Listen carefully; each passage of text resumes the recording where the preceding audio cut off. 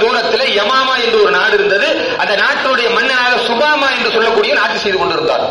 அவனுக்கு என்ன வேலைன்னா முஸ்லிம்கள் யாராவது அவன் நாட்டுக்குள்ள தெரிந்தோ தெரியாமலோ போய்விட்டால் அவர்களை பிடித்து கொடுமைப்படுத்தி கொலை செய்வான். கையை கால துண்டு துண்டா வெட்டுவான் கொடுமைப்படுத்துவான். இதுதான் அவனுக்கு வேலை. முஸ்லிம்கள் பிடிக்காது.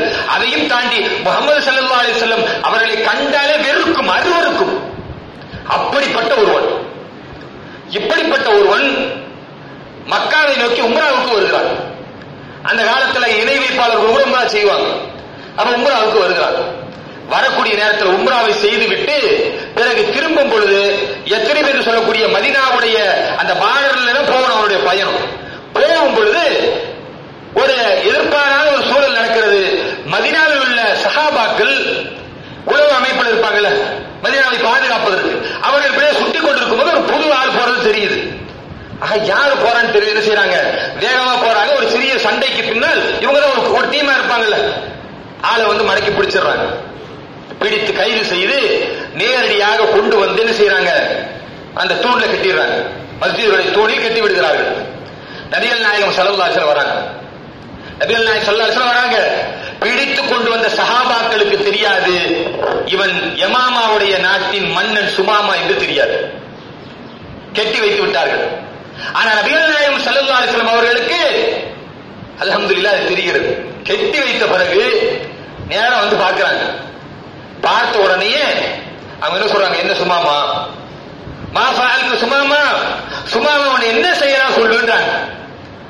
அப்பதான் சஹாபாக்களுக்கு கொந்தளிக்கிறது. ஏன் தெரியுமா? என்னுடைய தகப்பனை கொண்டவன் இவன். என்னுடைய தம்பியை கொண்டவன் என்று உள்ளூர் நபித்தோழர்.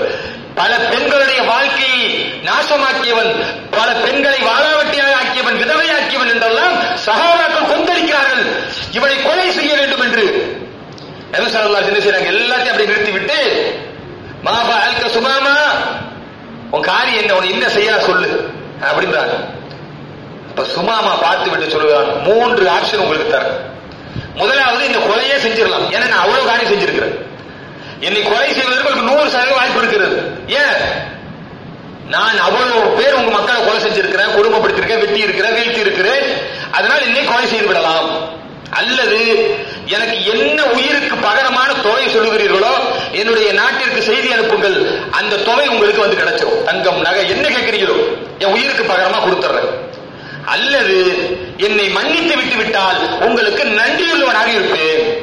இப்படி மூணு செய்தி சொல்றாங்க நபிகள் நாயகம் சல்லா செய்யறாங்க மூணையுமே கேட்காம நேரடியாக அவங்க பள்ளிக்கு போயிடுறாங்க முதல் நாள் நடக்கிறது.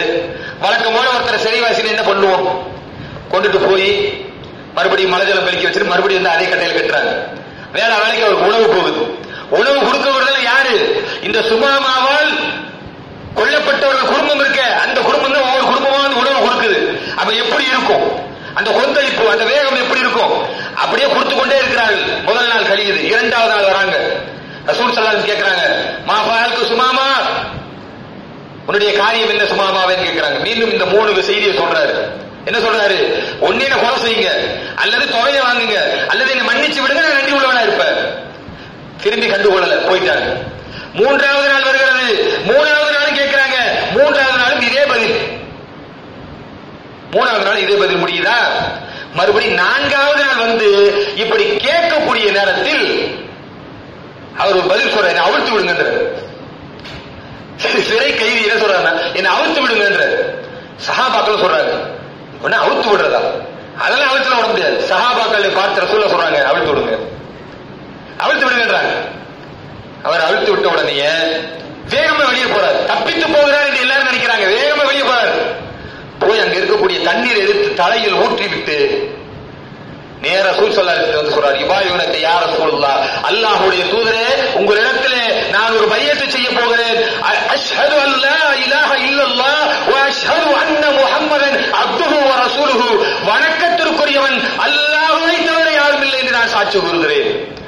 முகமது சல்லா அலிஸ்லம் அவர்கள் அல்லாஹுடைய தூதர் என்றும் அல்லாஹுடைய அடிமை என்றும் நான் சாட்சி கூறுகிறேன் என்று அல்லாஹுடைய தூதரிடத்திலே ஒப்பந்தம் செய்கிறார்கள். களிமாவை சொல்லி இஸ்லாத்திற்குள் நுழைகிறார்கள். அந்த நேரத்தில் ஒரு வார்த்தையை சொல்கிறார்கள். அது என்ன தெரியுமா? அது என்ன தெரியுமா?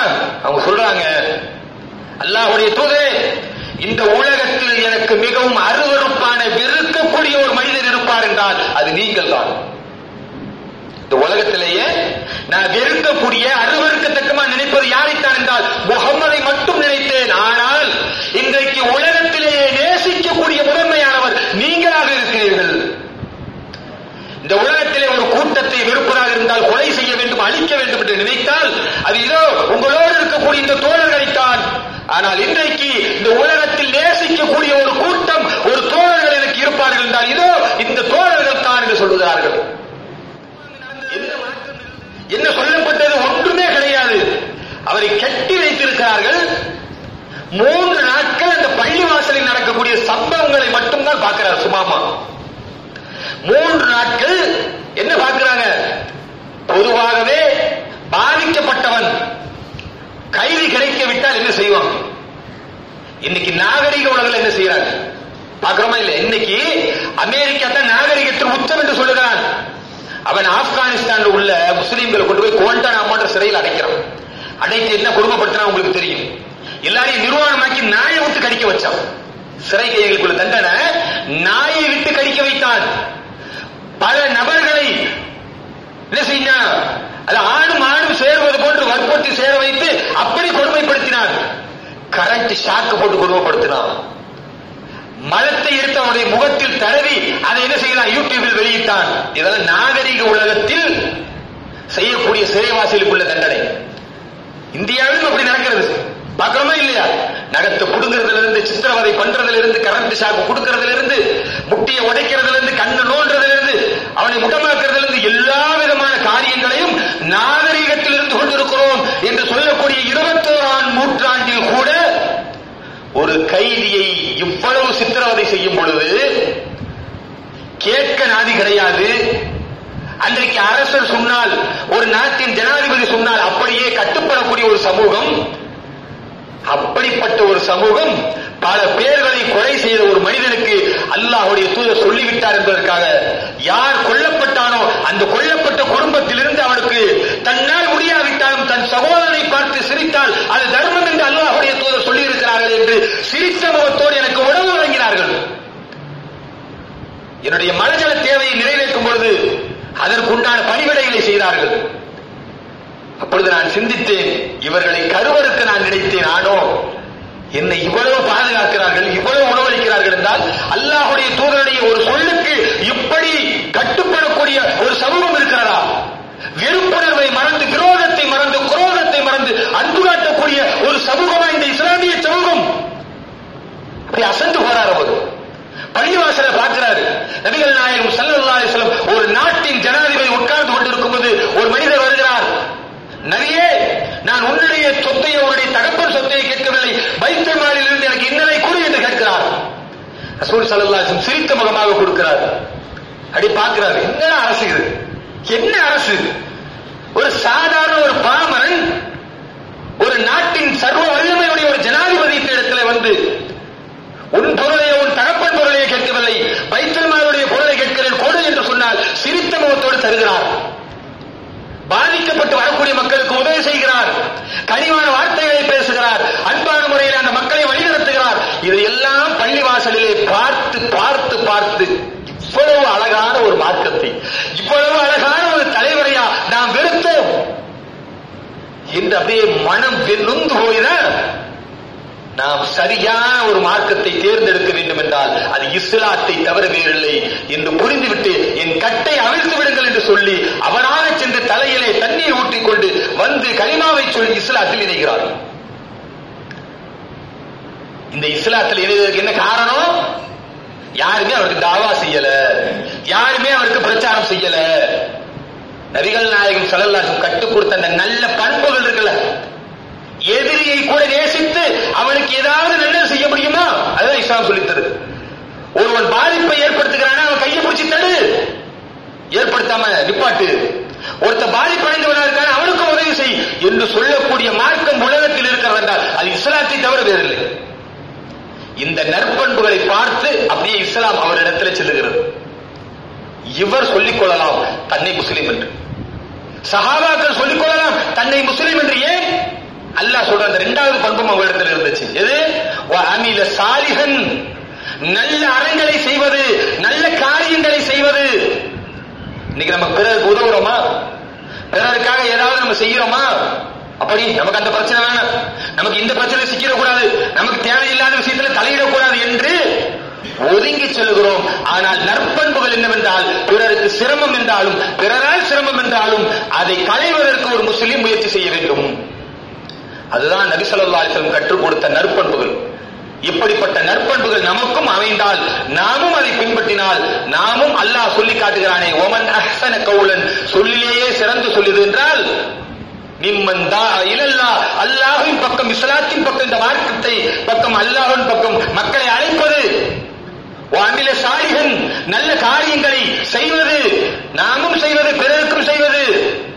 அப்ப சொல்லலாம் இன்னனி மேல் முஸ்லிமீன். ஆம் நான் முஸ்லிம்களில் ஒருவன். அப்ப சொல்லலாம்.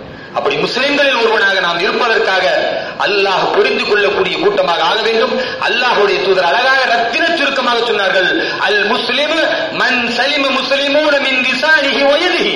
ஒரு முஸ்லிம் யார் என்றால் அவனால் பிறருக்கு நாவாலேயோ கரத்தாலேயோ எந்த தீங்கும் வராது. அவன் முஸ்லிம். அது அப்படிப்பட்ட நல்ல முஸ்லீமாக நன்மையை ஏறி தீமையை தடுக்கக்கூடிய முஸ்லீமாக நல்லறங்களை செய்யக்கூடிய முஸ்லீமாக அல்லாவின் பக்கம் மக்களை அழைக்கக்கூடிய முஸ்லீமாக வாழக்கூடிய பாக்கியத்தை வல்லரஹ்மான் உங்களுக்கும் எனக்கும் தந்துருவானாக.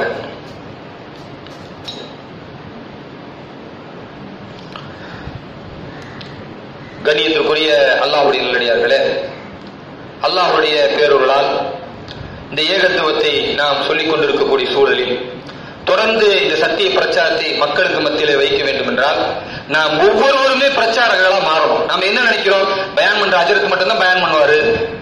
அவர் தான் பெண்கள் பயணம் வருவாரு. அவர் தான் திருமணி பிரச்சாரம் பண்ணுவாரு. என்று நினைப்பதால் தான் இந்த இஸ்லாத்தை இன்னும் மக்களுக்கு கொண்டு போக முடியல. நம்ம எல்லாராலும் முடியும். இப்ப நான் சொன்ன செய்திகளை கேட்டிருக்கீங்க நிறைய செய்திகளை. அதை உள்வாங்கி அதை போய் பிற மக்களுக்கு சொல்லலாம்.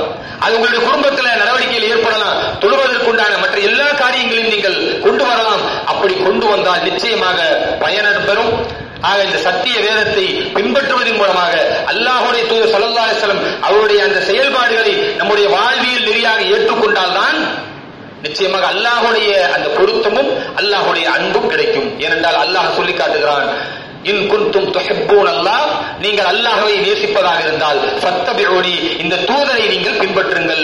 வயுஹிப்புக்குமுல்லாஹ். அல்லாஹ் உங்களை நேசிப்பான். வயகுஃபிரலக்கும் ஆக அப்படிப்பட்ட பாக்கியமுடையவர்களாக அல்லாஹ்வை நம்பி அவனுடைய தூதரை பின்பற்றக்கூடிய நல்ல முஸ்லிம்களாக வாழக்கூடிய பாக்கியத்தை வளர்க்குமான் உங்களுக்கும் எனக்கும் தந்தருவானாக வாஹிரதவான அல்ஹம்துலில்லாஹி ஆலமின் ஆலமீன். வஸ்ஸலாமு அலைக்கும்